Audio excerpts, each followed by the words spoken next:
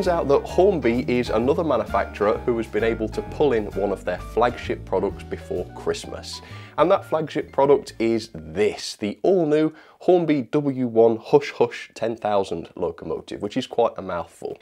Now, my experience as a customer purchasing this locomotive has not been a good one, unfortunately, this time, and I'm going to start this video by telling you a bit about that. So, I actually ordered my Hush Hush, I pre-ordered it from my retailer of choice on the very day that the loco was announced. So that was almost two years ago on the 6th of January 2020. And I thought, great, I've managed to secure one, they're not making all that many, I've got one, can't wait for it to arrive. Now, unfortunately, due to Hornby's new tier system, presumably, my retailer of choice discovered that they would not be getting the hush hushes that they wanted, and therefore my pre-order was cancelled. Now, my pre-order was not cancelled within a few days of me making the order, nor was it cancelled within a matter of weeks or indeed a matter of months. In fact, even a year after I'd placed my pre-order, as far as I knew, my retailer of choice was still able to provide me with a hush hush. My order was not cancelled until 15 months after I placed the pre-order, which is ridiculous. And of course, by that time, all of the other retailers that were stocking this had sold out on pre-orders, at least all of the retailers I checked in at. The only place I could pre-order a Hornby Hush Hush was from Hornby themselves, and I believe that this is exactly as Hornby intended it. At a much higher price, £219.99, and the original price I was going to pay from my retailer was £180, so I've lost £40 before I've even got the thing. Now I did what I never recommend anybody does. I ordered a Hornby Hush Hush from Hornby.com. Obviously I did because I have one right here. To start with, I was not going to do that. I thought I'm going to stick to my guns. I've recommended that other people don't do this. I'm not going to do it either. But then I got to thinking, you know, this is my job. A lot of people enjoy my reviews. A lot of people use my reviews um, to help them decide whether or not they're actually going to buy a product if people are having to go direct to Hornby and pay an awful lot of money to get the models they want, if that's the new way we've got to do things these days, then that is all the more reason for me to buy one to find out whether or not these models are actually worth buying. Now, unfortunately, it's taken Hornby a long time to get this to me, which is why this review has taken so long. Usually when I pre-order from a retailer and they take my money, it takes between 24 and 48 hours to get my model. Unfortunately, from Hornby taking my money on the Hush Hush, it took them 10 days to deliver it. So during that time, I took to the internet, I was looking at social media, I was looking at the forums to try and gauge a sense of uh, how this model is being received by those who have got them and the results seem to be quite mixed. A lot of people are very happy with their Hush Hush. They say that it's, uh, you know, really nicely detailed, looks great, runs well, very good. A lot of people are also very unhappy with their Hush Hush, um, and there are lots of claims of horrific damage, as you can see here, which they claim is due to the poor quality packaging.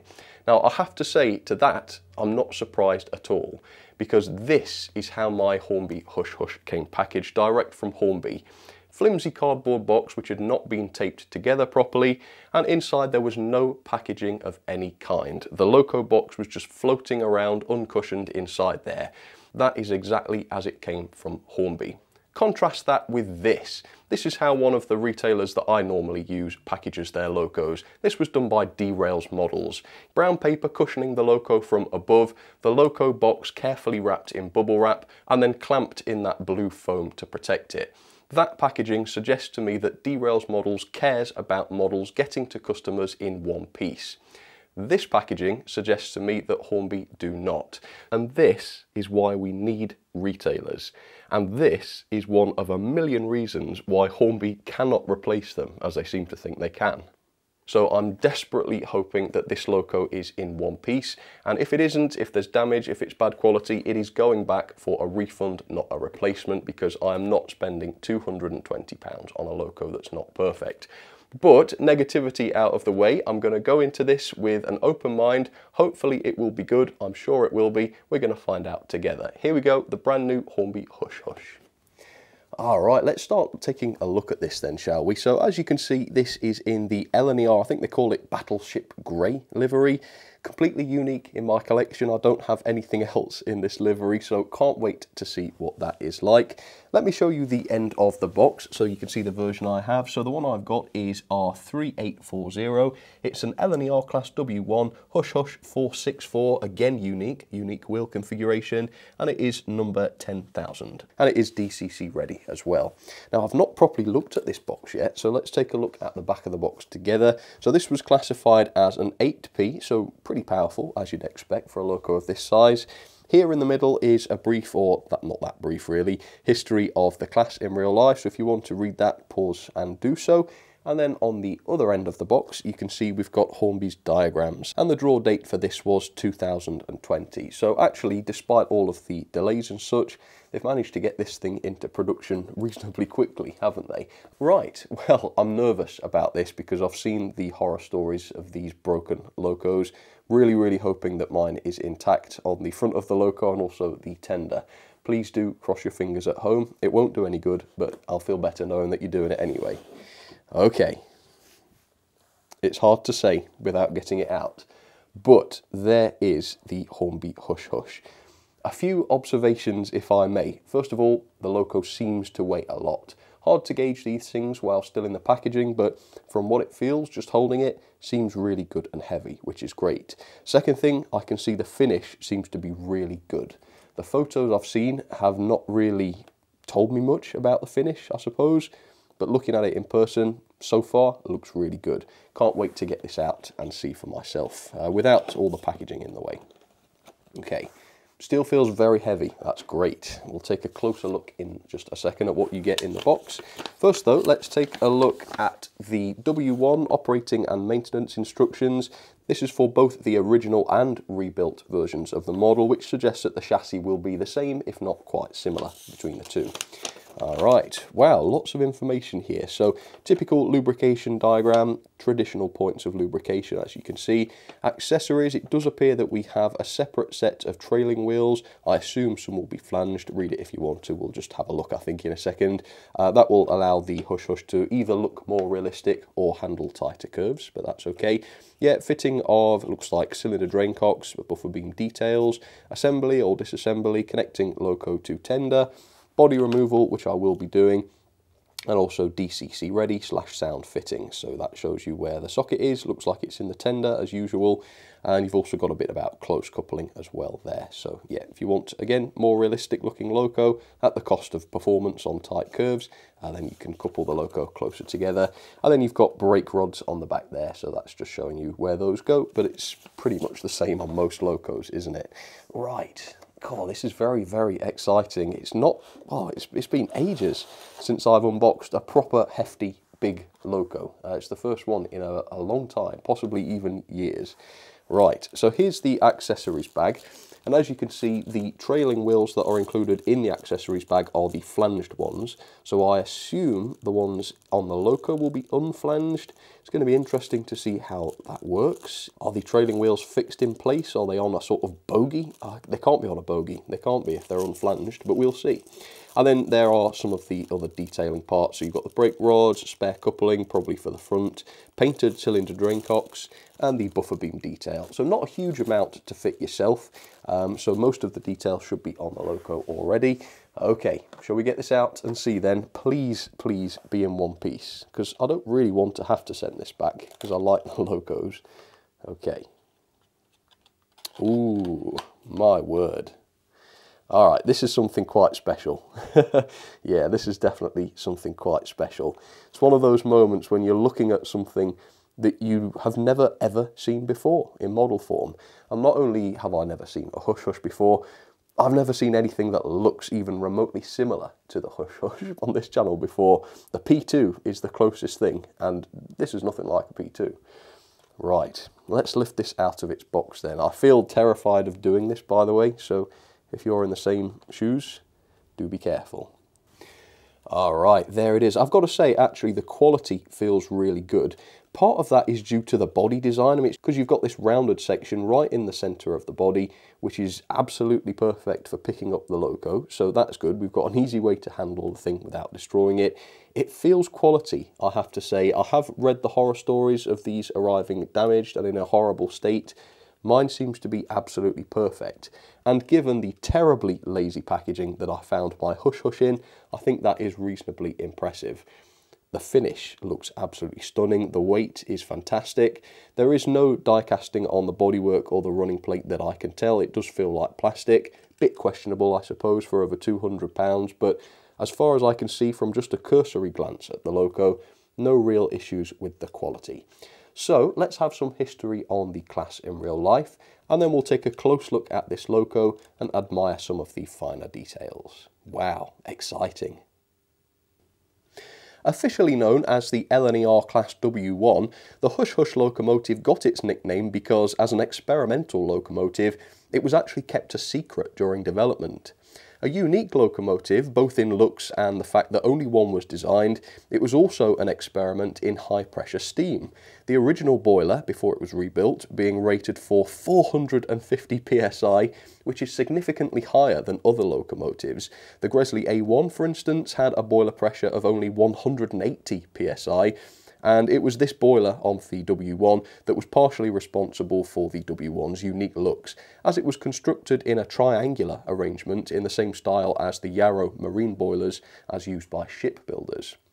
The remarkably unique status of the Hush Hush goes even further than the unconventional boiler though, because while it was based on Gresley's tried and tested Pacific chassis, an additional set of trailing wheels was added due to the extra length of the loco, making the W1 the only standard gauge 464 locomotive to run on British Railways at the time. Despite all of this though, steaming was relatively poor during tests and it never really met the standards required. As such, no more examples were ever produced, and the existing W1 was eventually rebuilt at Doncaster Works in 1936 with a more conventional boiler, only seven years after having been constructed. She was then sadly scrapped in 1959, thus eliminating any remains of Gresley's famous experiment. So there she is up close and personal for you, the brand new Hush Hush from Hornby. And I've got to say, I've looked at this very closely for quite a lot of time and it is a really, really good looking model. Absolutely fantastic. The finish is far better than anything really that I've seen from Hornby before. The build quality is noticeably improved from previous Hornby locos this year. The A2/2, for instance, that's one of them. Yeah, it really is a wonderful looking loco. Just look at it. You can kind of tell it is just from the uh, wider shots. Now, is it perfect? No. Do I think it's worth £220? No, absolutely not. I mean, I really like chocolate bars, but it doesn't mean that I'm willing to pay a ridiculous amount of money just to get a decent one. But overall, it's a massive step up for Hornby in terms of quality, I think. I know that other people have had quality issues with theirs, but that's not what I've got here. What is here is a very, very high quality model, and I have to review it as such. Why is it not perfect, I hear you ask? Well, let me go over the few slight issues to start with. First one, the trailing wheels. Yeah, absolutely terrible. Looking out there, they're far from touching the track. Not a good design at all. I know that's a very difficult thing to design. It must have been a challenge, but to me, this is not an adequate solution for a 220 pound model that's supposed to be realistic because that is anything but realistic. And in fact, the front non-driven wheels are not right either because look, if I lift the front bogie wheels off the track even a millimetre, the drivers come off the track as well, which means there's not adequate movement in the front bogie.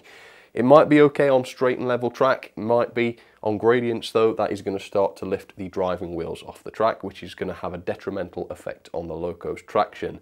There's also considerable tension between the loco and tender. Look, if I lift up the front of the tender, even just a fraction, the back of the loco goes up. So how much weight there is actually going to be on the Loco's driving wheels, I'm not entirely sure. I'll just pause the video there for one second. The tender issue was caused by a bent drawbar, which I discover later on in the video and fix. Okay, carry on. That might be fixable, it might not be, but it's not ideal straight out of the box on a Loco of this price. The only other issues I have with this though are reasonably minor and that is the plastic construction. So I think the bulk of the detailing is just plastic unfortunately. The handrails they seem and look like just painted plastic to me. The ones on the front are definitely plastic because they're very flexible as you can see. Got to be very careful with those. And the parts that are supposed to be metal such as the turning wheels, the pipe work, the various valves and also the whistle, they just have the appearance of painted plastic. They don't look like metal, which is a pity because they don't scream quality the way real metal parts do, or parts that have been painted with very high quality metallic paints. And as is so often the case with the cheap plastic running plates, this one, short as it is, is still warped. And I'm at a loss really as to why Hornby don't. I, I just assume Hornby are okay with faulty running plates like this because time and time again I've showed locos with cheap plastic running plates. I say it every time, it ought to be metal. We've paid this much money, it ought to be metal. It very rarely is from Hornby still. And uh, yeah, here is the result. Warped and it's noticeably warped and you can just see it worse when I put the ruler there. So that is why it ought to be metal. No excuses at all, although this is the only area of the model that has been majorly affected by the cheap plastic construction. The quality of the loco, besides the points I've mentioned, is very high indeed. Let's take a look at the finish look at the bodywork here. This is what you call a quality finish. It's not plasticky like so many Hornby locos are. It has a very elegant satin sheen which is not over the top and it's not at the point where it's overly glossy and toy-like. That is, I would say, spot on, just as you'd want it. And the decoration is very good as well. As you can see, all of the lining on the boiler, while not dreadfully complex, it's all perfectly accurate, which is great. You've got the high quality, very high quality printing on the side of the cab, the running number there. A lot of numbers to cram on there. I can definitely imagine in real life there being a few hairy minutes when whoever was charged with painting this thing realised that they had to fit five numbers on a regular sized cab. But no, it works and it looks great in model form as well. You've got small prints such as the LNER Builders plate. I'll get a close-up on that for you. Small separately painted details such as the steps and also the fronts of the cylinders as well, which are picked out in the silver. This running plate area, by the way, is all made of plastic, as are the steps, and as a result, they're not quite as sturdy as you might want them to be. It seems a little bit dodgy having such a, a flimsy component right next to all of the valve gear and such. Of course, it will be absolutely fine as long as you don't catch it, but you have to make sure that you don't. And then on the front buffer beam, you've got the running number, which is nicely painted in the white. And while we're here, we might as well take a look at some of the other details. There is the screw-link coupling holder on the front, but the model did not come with screw-link couplings. That is a thing with this model. It doesn't have lots of bells and whistles. I don't think it's got any lights, no clever DCC fitting system, and uh, certainly no extras like the screw-link couplings. No room really for missing features at this price point, but no very major complaints. The buffers, as you can see, are made of metal and they are sprung. There you go, that's nice. And one pretty cool inclusion, in my opinion, is the lamps. Yeah, we do have lamps factory fitted to the model, not included in the detail bag, so that's nice. Let's take a better look at this end though, because there's an awful lot going on. So you've got the separately fitted handrails, all over the place. You've got them on the sort of smoke deflectors, for want of a better term, on the front of the smoke box. But this is really what you would, I suppose, call the smoke box cover. But if you look underneath the cover, which you can, you can see the real smoke box has been detailed underneath there. That's a wonderful little bit of detail, isn't it? Really, really great. And then around that area, there is an awful lot of detail around the running plate, lots of different mechanical components, pipe work, very, very intricate and also very extensive. That stretches way down back behind the outer body shell. It's quite impressive.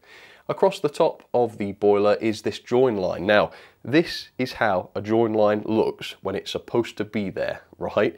It's not mismatched, it's not wonky, it's not more noticeable in some areas than others.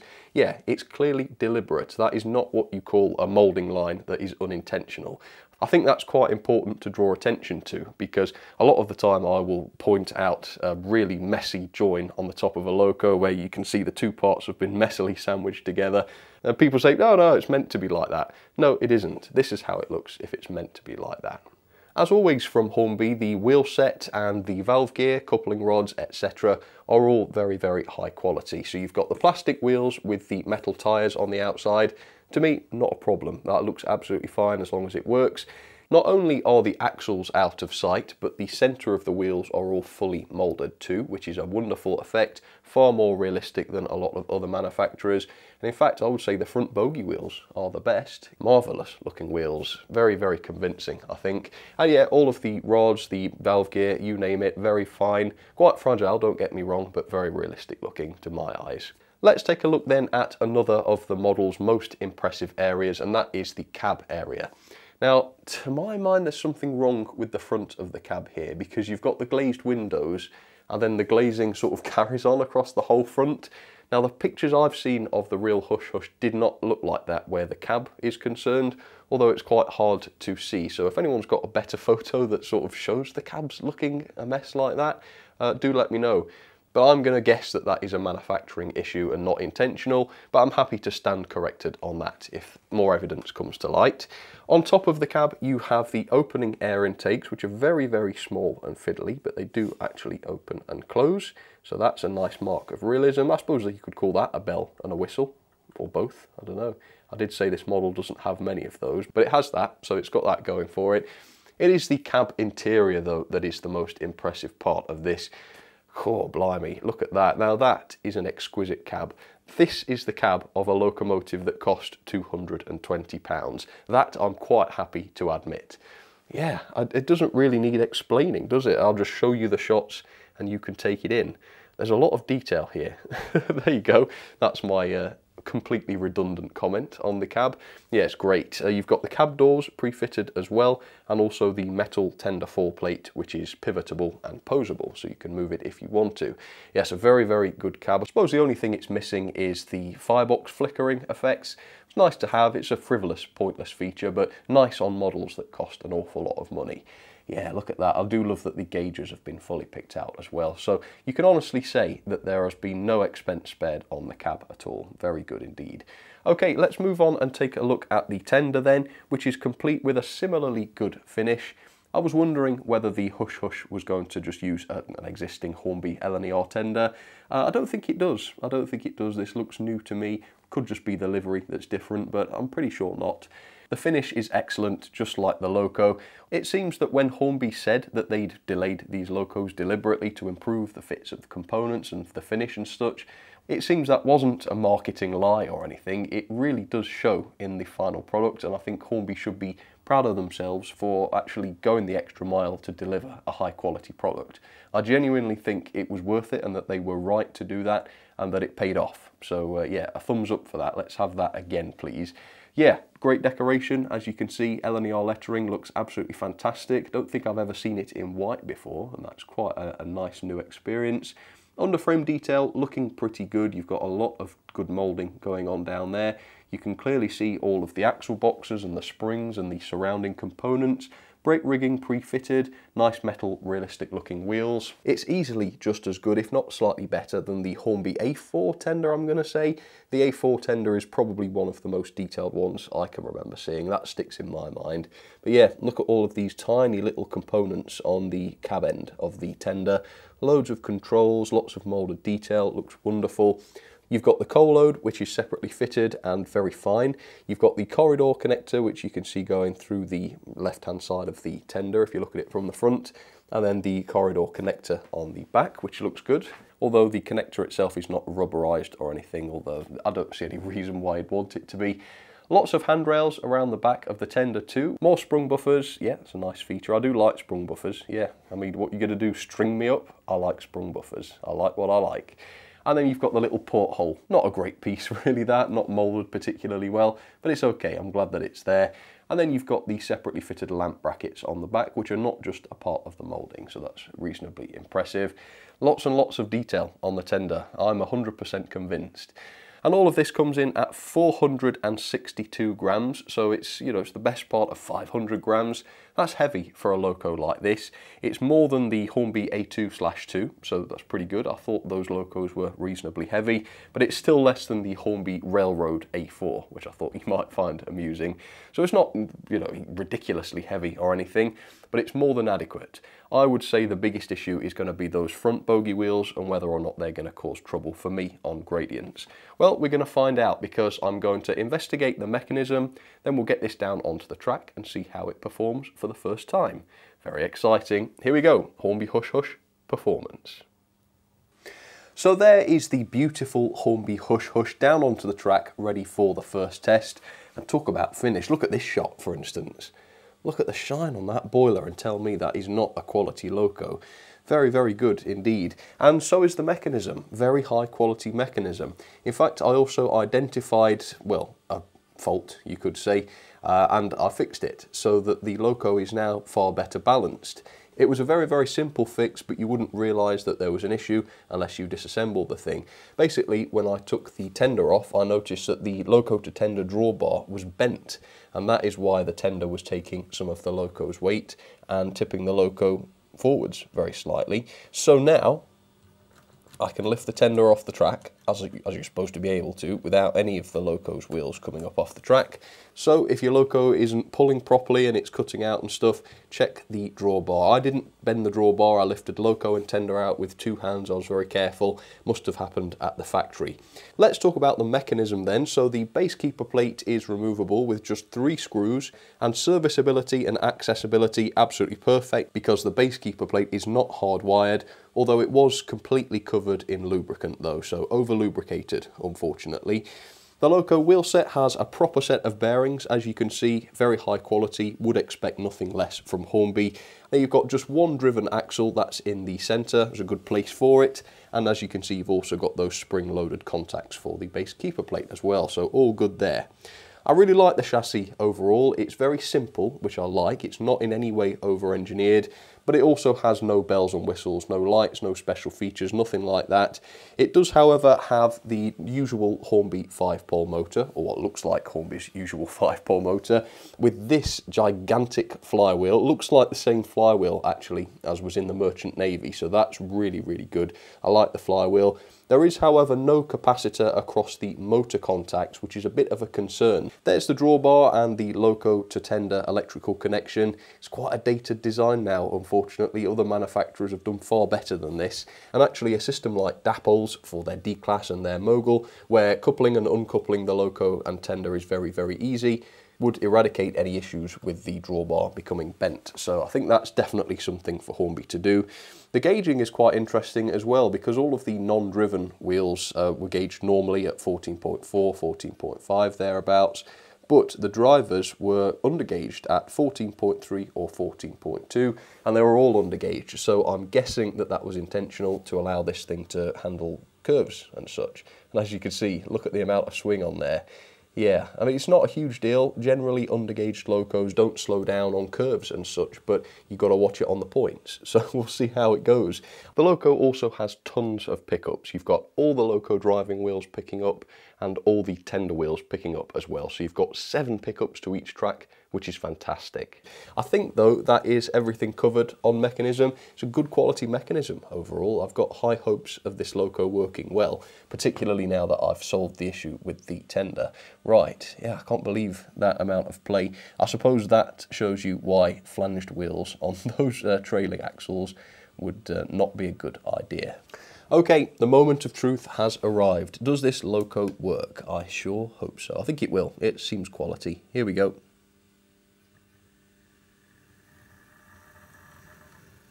Okay, well, it doesn't sound very good, but that was its first ever movement and it hasn't yet been allowed to run in, and I will do that before I draw any conclusions. Hmm, a bit of a growl to it. Oh, and I did see something happen there. What was that? I don't think the camera would have caught that. But I'm sure I saw it wheel slip. Let's see if we can see if I can do that again. I think it was on the points.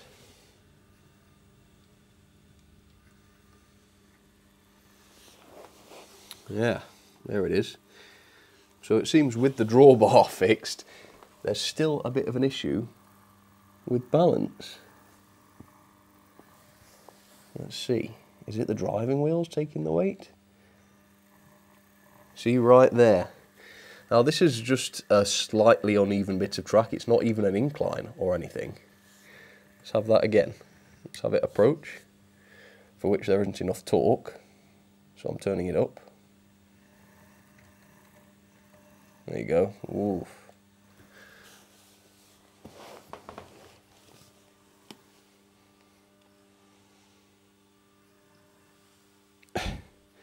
Is it me, or is it not the smoothest runner in the world? oh, we need a miracle if running in is going to fix that. Yeah, I, I don't understand that at all because everything looked tickety-boo inside there. Everything's swimming in oil. I didn't notice whether the motor was swimming in oil or not, so maybe that's dry, I don't know. But I'm not that keen on putting oil on a new motor because it should have had some already and if you over oil a motor it can really mess it up. Well, that looks alright on this bit of track. Let's just see what the crawl is like then. Yeah, let's give that a go.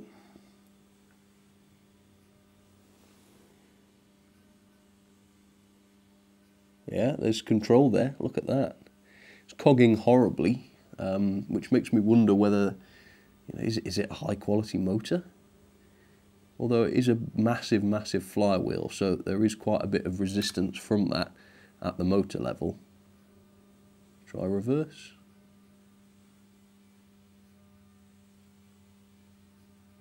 Yeah, it's pretty good. It's not running, and that's pretty darn good. Yeah. So if it gets a bit smoother with running in, I think we ought to have a decent crawler.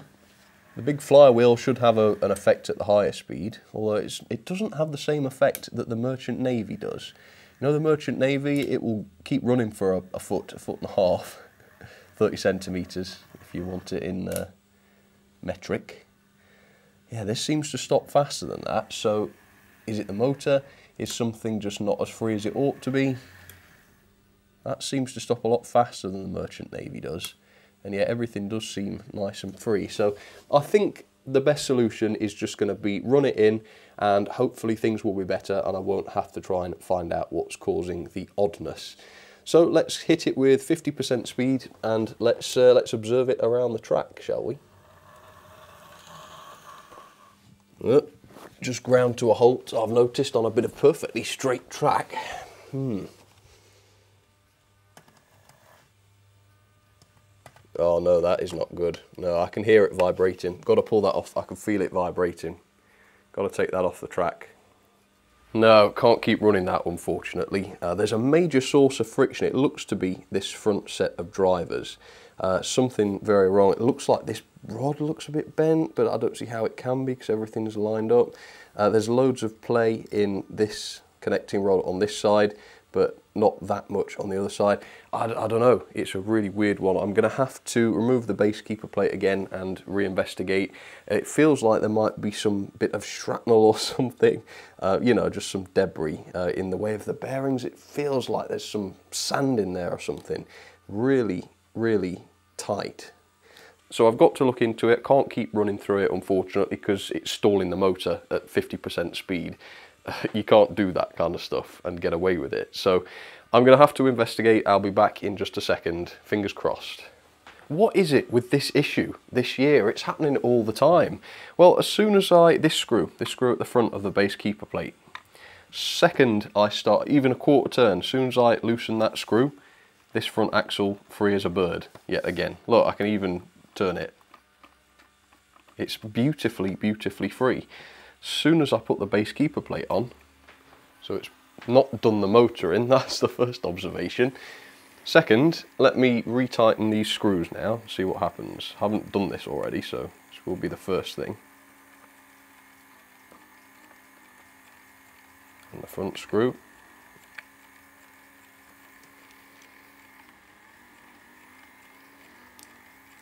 Yeah, still seems okay. Yeah, okay. Is that free again? That seems free again. So was something trapped under the base keeper? I don't think so. I don't think there's anything to get trapped there. I think they are all good and tight now though. Yeah, it just feels different now. Feels much freer. Uh, all the bearings were in place. Yeah, there was nothing like that. It's weird. Fine. Right, well let's try again. Let's see if the horrible noise has gone now. Right, there we go. Stopped again. I'm going to have to go and rescue it very, very quickly. Yeah, so it ran freely again for about a quarter of a lap and then it locked up and stalled itself again at 50% speed. So there's something crazy going on. Let's go and see if that front axle's binding up again. Yeah, it's not it's not good enough, really. You should be able to just pop a model on the tracks and have it work. It's a model for capes. No, it's a model for repairs immediately out the box. Yeah. Let's get some power to it like that. Flip it round. Oof. Sounds, oh, there we go. Okay, there we go. So it's stored there. So, is it valve gear? This should all be locked up if it's the valve gear. No, they're all free.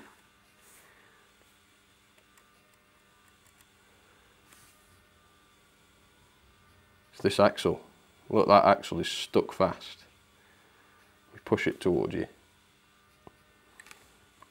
There you go, it's free. Ooh. See that?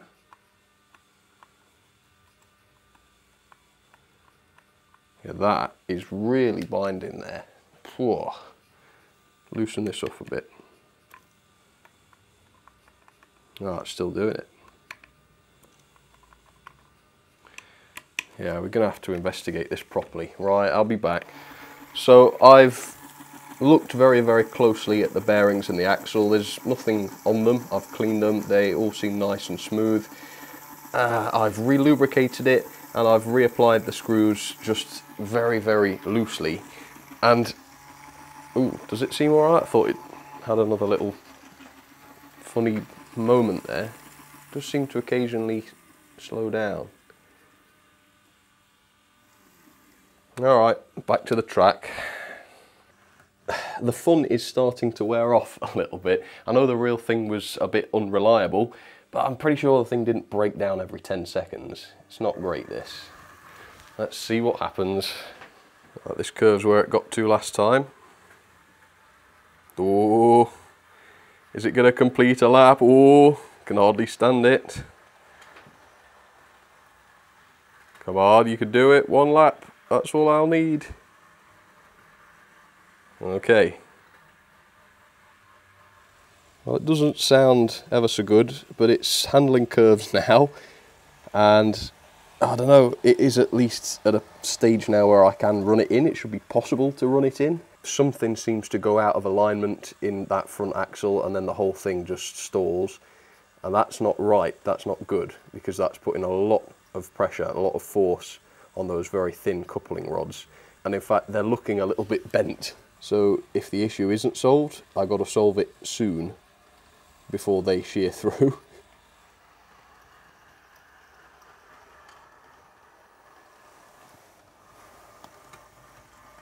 it's going again. yeah.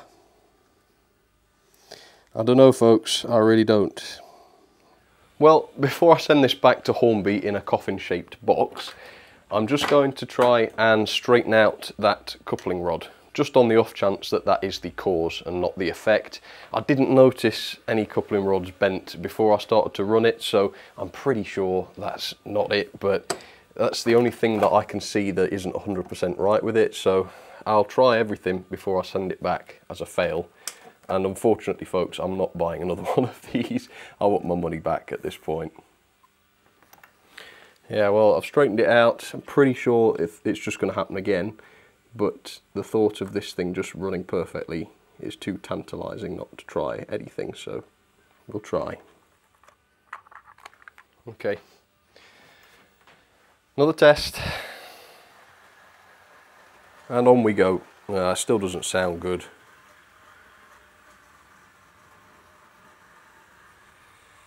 Yeah, well, it doesn't sound at all healthy, but it's not stopping anymore. It's done a good few laps now, so if I can finish the review, then that will be something I highly... Oh, no, no, no, here we go. Stopped already. I'm to say, I highly doubt we'll get to 30 minutes. Right, this is poo now. I should not be doing this but I don't want to let it beat me. So I'm just thinking that maybe the gauge was to blame. So I'm going to re-gauge it to 14.5 as it should have been in the first place. And we'll see if that improves. Right, that's the front axle re-gauged and re-quartered. So I'm laughing because I can't believe I've just done that to a new loco. Uh, for now it seems to be okay, but that's happened many times. The fault seems to come back at random points when I'm not looking. So yeah, I mean, whatever, whatever. We'll keep trying. I mean, I can't keep trying this forever, but uh, I've got a bit of time, so we'll keep going with it, and we'll see what happens. But I'm not going to take you along for any more of this. So I'll see you at the end of running in, or when I've finally reached the end of my tether, whichever comes first. Okay folks, so the stalling issue just kept coming back. It kept coming back, I think I'd fixed the problem. It had run perfectly for sometimes minutes and then the problem would come back and I'd turn around and it stalled somewhere. So I don't think I've solved the problem, but what I did instead was popped it onto the rolling road where it did also continue to stall. But I found that if I hit it with 70% speed, this is not what you should do by the way, um, then it would go and I could leave it and it would not keep stalling. And uh, I did that and it didn't sound very good after its first half an hour. Listen to this. But I've now been running it back on the main layout again uh, for, it's probably been going for a good 15 minutes or so and it has not stalled again. It's not running perfectly or anything. It's not super smooth and I've worked on it for hours to get it to the, this stage. So if you run into the stalling issue, I don't think you're just going to be able to run the thing in and it will fix it. I suppose it's worth a try, of course, as long as you don't burn the motor out. But I think we're able to at least continue with the review. Uh, although I do still think I'm going to be sending this back because I'm never going to be satisfied knowing that it's got a serious mechanical issue. Uh, but the pulling power I have been able to test, it comes in at 0.35 newtons, which is around 22 coaches on straight and level track. That is less than a Hornby Railroad A4 uh, by quite a long way, by a huge amount. Uh, it's about the same as the Dapol Prairie, so I don't think that is quite right. Again, I don't think all of the weight that should be on the driving wheels is on the driving wheels. I think these front bogie wheels are too eager to take the weight, as you can see. And it seems as though Hornby have tried to combat this because there's loads of weight in this area of the body, in the front here. Um, but of course that is not going to help at all if the weight is not going onto the driving wheels. Uh, so if I was keeping this, I would now look to the front bogie. And if you decide that you're keeping your hush hush, and you've, you've got one of course, uh, then I would look to the front bogie, see if you can take out a spacer, see if you can cut the spring down a little bit. Uh, but because I might be sending it back, I'm not willing to mess about with it. So let's see what the crawl is like now. I did try this briefly and found that it wasn't as good as it used to be. Let's see if that's accurate. Right. Well, it just sort of accelerated without me touching the controller, so let's do it again. Try and crawl. So I, at this point, don't know whether the motor has sustained damage or not due to its stalling because it was a better crawl than this before, but obviously since then it's it's stalled like 12 times or something, and um, not for long each time, but it's not good for a motor to stall, and so I don't know whether or not it sustained any damage. Um, having said that, it's probably not far off the crawl it did before. It's a bit coggy, it's not very smooth, and it does seem to, there we go, I didn't turn it up then. oh, you can't see my hand on the controller, so I, hang on, let's do it again so I can prove it. Okay, so if I get this to crawl and then I'll let go of the controller, so we can get it at a sensible crawl. How's that? Yeah, I'll let go then, see what it does. See if it does that again. Yeah, it's not what you'd call consistent. I reckon it'll go any, any minute now. Oh, wait for it. Hey, here we go. Speeding up. And slowing down again. Oh, I'm speeding up again. Yeah, and every motion is jerky. Let's try a little bit faster. Oh, here we go. So now, that's okay. But as you all have seen, the uh, the response in terms of the speed. Oh, let's slow down again. Yeah, it. Oh, and oh yeah, you've still got that issue. So there's your evidence of the front bogie issue. So what I think is happening here is the rear wheels are sitting on the track now, and so are the front ones, and the drivers are all but lifted off.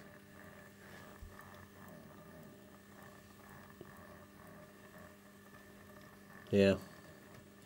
It's just, I don't, there's just something not right about this. I, I don't want to just point the finger at Hornby's design team or whatever, I know I normally do, trying to be nice. I'm trying not to be anti-Hornby all the time because I know I've been hard on them this year, but I really don't know what I can say to let them off the hook with this. It's just really not at all acceptable.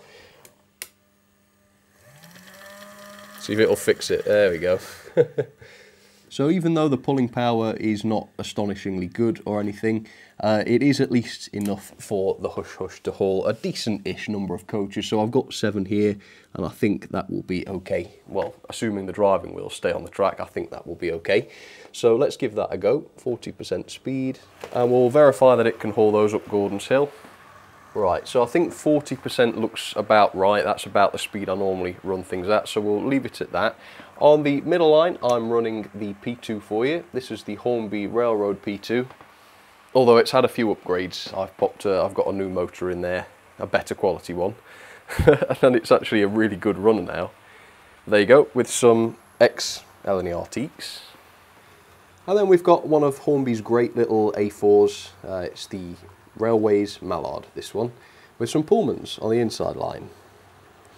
So let's catch up with the Hush Hush. I have to say it's nice to see the thing actually making it around the track now, uh, but I don't think this is something that I can enjoy knowing that there's a, a mechanical issue with it. So enjoy it while it's here. let's see how it takes the layout. So I would say, aside from the unhealthy noise that it's making, I would say that it's now running acceptably and if it have if it had have run like this straight out of the box um, then I think I'd be keeping it because it seems okay. I really um, I don't know what to do. Actually every five minutes I change my mind. One minute I'm keeping it the next minute I'm sending it back. What do you lot think I should do? What's the right thing to do? Please talk some sense into me whatever that might be. I can't send it back right now because I've got the C word so I'm going to have to wait until my isolation period is up before I can go to the post office or anything. So yeah, please do let me know what you think I should do. I, I, I really cannot say what the matter is with it. I don't know at all. Uh, it could be a mixture of the things I've identified. It could have just had a knock in transit, but then it should have had some packaging around it. You know, a little bit of bubble wrap is not a lot to ask for on a 220 quid locomotive based on what I've observed from the way the loco performs when it's not having its funny turn, and based on what I've seen from the mechanism, they are good, they're good quality locos, and I think they have the potential to be good quality runners. It does at least hold the track well, it doesn't slow down noticeably or derail on curves and points, so if you're looking for good things to say about this performance-wise, then that's a couple for you right there.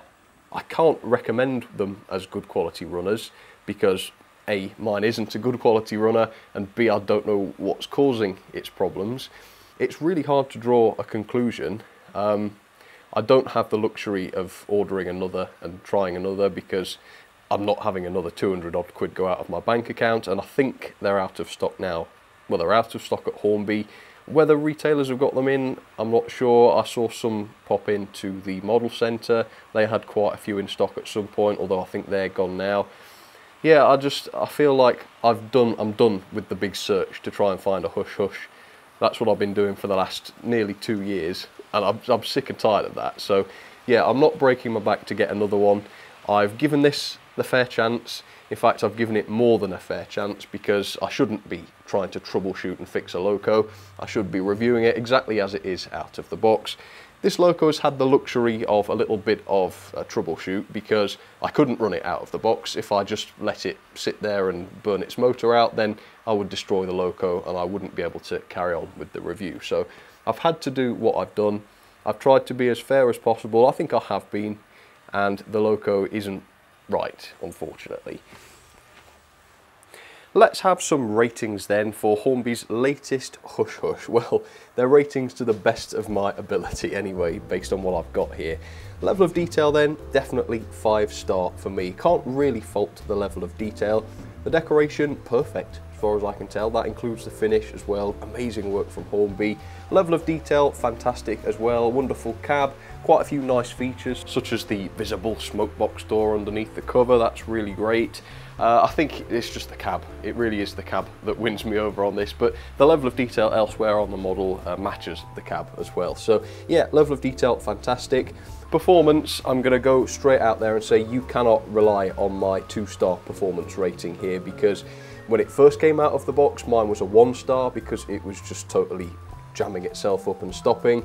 Now it's perhaps running a little bit more like a three star, but I'm still conscious that the issue's there and it's lost its ability to crawl for some reason. There are hush hushes out there that are fine. I mean, I've been reading the forums and stuff. Some of them run absolutely fine. Maybe they're four star, maybe they're five star. I really don't know. Uh, but mine, I'm going to give it two star. It's running at a three now. It was a one out of the box, so I'm going to split the difference. But do bear in mind, for my example, I had to do a lot of work to get mine to run like this. What I would say is if you've got one of these or if you're thinking of getting one, test it very carefully, watch it like a hawk before you decide whether or not you're keeping the model. Any problems at all, you need to get it returned as soon as possible. Pulling power then, again, this is not very trustworthy. I've got 0.35 newtons, which is 22 coaches. Again though, I'm pretty sure that's because the front bogie is taking a lot of the weight off the driving wheels. Is that a manufacturing tolerance issue that's affecting mine and others, but not all of them? again, that could be accurate, it could not be, but mine, I can say accurately, has a pulling force of 0.35 newtons, and that's quite a lot less than the A4 from Hornby, and it's about the same as the Dapol Large Prairie, so it's okay for a decent rake of coaches, uh, it's not a problem at all, but it's not quite as much as you'd expect for a loco of this weight. Mechanism then, in theory at least, is very, very good. On paper, in my opinion, it's a five-star mechanism. You've got lots of pickups, you've got proper bearings on the wheel set, five pole motor, chunky flywheel. It's simple, but it gets the job done, so it's a five star on the mechanism, except for the design of the front bogie, which has not been designed properly, in my opinion. It doesn't have enough vertical movement in it, causing the driving wheels to be lifted off the track, unless the rails are perfectly flat. But the quality, unfortunately, is not great. It's really disappointing and deceptive because when it first came out of the box, I thought here is a great quality model. And to a degree, yes, it is a quality model. I mean, the finish, like I say, is quality. It's been put together in a very, very competent way. No glue visible, really. Very, very nicely assembled. But you've got the plastic construction, which leaves parts of the model flimsy and other parts, such as the running plate, warped. And then, of course, you've got whatever quality problem it is, that's stopping mine from running properly. Uh, your guess is as good as mine. Is it gauging? Is it quartering? Is there something wrong with the chassis? Is there something wrong with the bearings or the axle that's causing friction?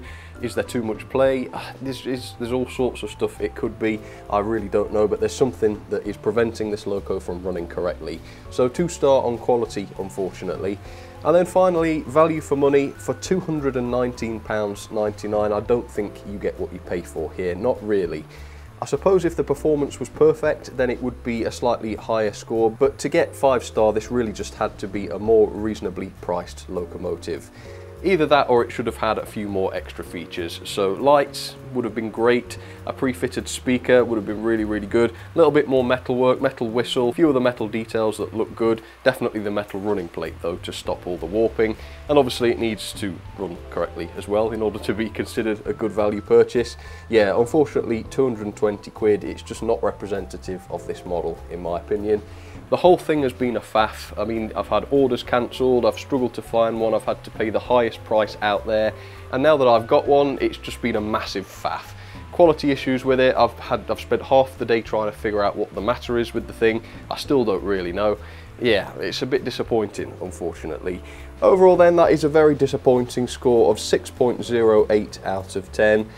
Into the logbook it goes then, 43rd place, down there with the Bachmann 9F, which ironically enough was another hideously expensive model with some very poor quality.